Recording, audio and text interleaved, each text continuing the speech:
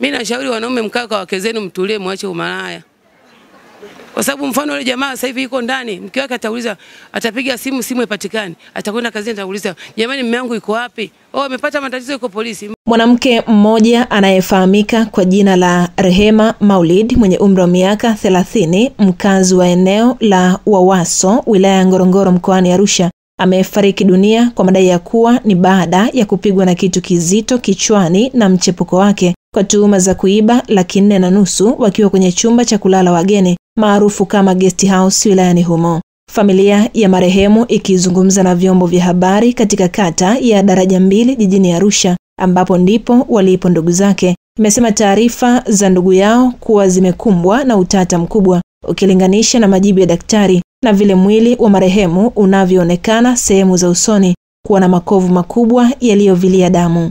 Jeshi la polisi mkoa wa Arusha limethibitisha kuwepo kwa tukio hilo na limesema tayari mtuhumiwa wa tukio hilo ameshikiliwa na muda wowote atafikishwa mahakamani. Hii ni Gadi TV, jina langu ni Aisa Msuya. Shahidi ananiambia aliangukia kichwa nyuma.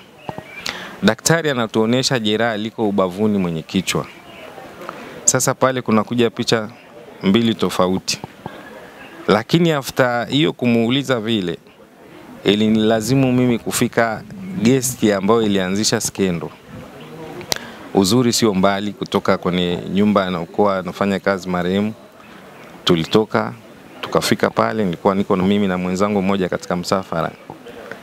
Tulivyofika tulimkuta mhudumu wa gesti, na uzuri akawa ame amehisi kabisa hawa ninaowaona itakuwa ni tukio linalosambaa katika mji, kwa sababu ule mji ni mdogo. Nikajitambulisha pale, habari yako, mimi ni kaka yake ya yule dada aliyeuawa, alikuja hapa na bwana wake walala chumba kipi? Akasema ni hicho hapo. Hapa ulisikia nini? Labda unaweza ukanisaidia walivyokuja hapa. Akasema hapa kwangu wamekuja saa kumi, almost saa kumi na moja kasoro asubuhi.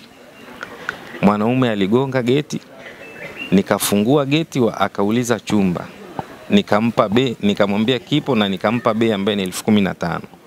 Nilivyompa bei ni elfu kumi na tano, waliingia wote wawili, hawakufunga mlango, wakawa wanazungumza. Ma, mazungumzo yanaonekana ni ya kawaida, sio ugomvi, lakini kitendo cha kama dakika 45 50, yule mwanamume alitoka akaondoka, lakini alivyoondoka binti akawa yuko amesimama pale ndani hakukaa. Bai saa moja moja dakika arobaini akamwita mhudumu, kaambia mimi natoka chumba chako kikague. Yule binti akaambia hamna shida, kwani mbwana si hamjakitumia? Kipo. Na akaniambia ndo hiki chumba, na kama unavyokiona taulo, shuka imekunjwa na sabuni ipo juu ya kitanda, hapajakaliwa hata kukaliwa. Akaniambia ndo hichi, na bosi wangu ameniambia hivi, baada ya kusikia hili tukio amesema hiki chumba nisikiuze. Kwa hiki chumba toka juma, hii Jumatatu hii sijakiuza, leo Jumanne pia kiko hivi hivi. Ni mpaka tulichokuwa tunahisi, bosi anasema watu wanaweza wakaja kufanya upelelezi huko, kwa hiyo sijakiuza. Lakini wakati huo huo interest ya ule mji mimi ninao zaidi ya miaka kumi na mbili, shaishi pale, shafanya kazi. Kwa hiyo nikawa nachukua maneno moja moja kulingana na watu ninaowafahamu na ishu ya marehemu mpaka kufikia kupata msiba tukawa tumepewa picha hivi. Picha ya kwanza ambayo inatoka kwa mtuhumiwa, alimweleza ndugu yake ambaye aliongea mahali bila kujua sisi ni nani. Alisema hivi, marehemu alikuwa na mwanaume amelala naye na akaondoka na suruali, ameiba ina hela na simu. Yule mwanaume ikabidi atoke na boksa mtaani kumtafuta, lakini katika hilo linalokwenda hivyo, sintofahamu ya mimi kuchukua maneno ya watu mtaani, ikaja picha kwamba yule bwana alinyanyuka na nguo zake zote na akafika sehemu ambapo marehemu alipoa ni kituo chake cha kazi, akamkuta mwenzake, akamuuliza fulani yuko wapi, ambaye alikuwa anatumia jina la Najma kule kama yeye, Akamwambia kweni kuna shida gani na we ni nani? Akamwambia mimi na shida na Najma.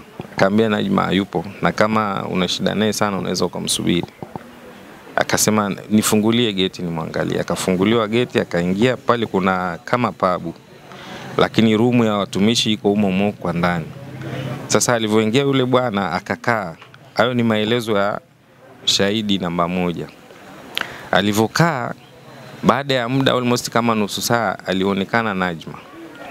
Alivyoonekana Najma, yule binti akamhoji kwamba ulikuwa wapi na kuna kaka anakutafuta ana shida na wewe, ambaye ni huyu hapa. Yule bwana pale pale akaanza kudauti, wewe umenibia pesa yangu, nataka pesa yangu. Sasa kwa maelezo na picha na mazingira yaliyokuwepo pale, utata ulianza kunishika, kwa sababu wakati naongeleshwa na hayo maneno naongea na huyo binti, niko eneo husika. Kwa hiyo anasema yule bwana akaamka akamwambia, nimekuomba pesa yangu polepole, nirudishie, utaki. Sasa kitu nitakachokufanya lazima utatoa pesa yangu. Kwa hiyo marehemu eti akawa anarudi nyuma on move, akateleza kwenye tiles akaanguka, lakini shahidi ananiambia aliangukia kichwa nyuma. Daktari anatuonyesha jeraha liko ubavuni mwenye kichwa. Sasa pale kuna kuja picha mbili tofauti. Baada ya kwenda mochwari, tukiwa na askari wawili tukaenda nao kule na ndugu zangu ambao tumetoka nao hapa.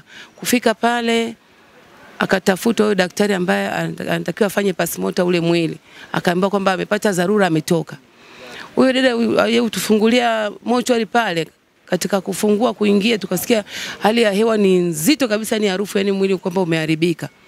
Akatufungulia tukiwa na askari kwa ajili ya kuutambua mwili. Baada ya kuutambua mwili, tukasema mwili ni, ni ndugu yetu.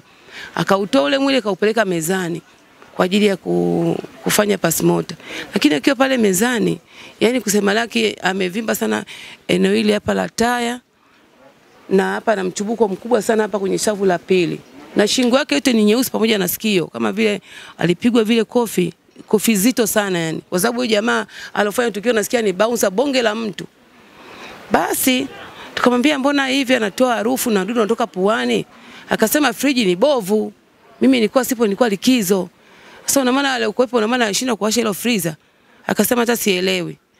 Basi tukashauriana pale, mama dokta akasema kwamba huyu sasa hivi hamwezi kumchukua na afu pia hamna sanduku la kusafirishia. Inabidi mtafute sanduku, tumuongeze na dawa kwa ajili ya usafiri huo, kwa ajili ya usalama. Basi akatuambia mpaka saa kumi na mbili jua lizame ndio muondoke. Akarudishwa kwenye freezer. Dada yule akawasha freezer. Unaona maana freezer ilikuwa zima, lakini alifanya makusudi kumweka yule marehemu kule ili aharibike, kupoteza ushahidi. Na tumbo yake ilikuwa limevimba sana tumbo. Unaona tungekosa ile jana, leo angepasuka.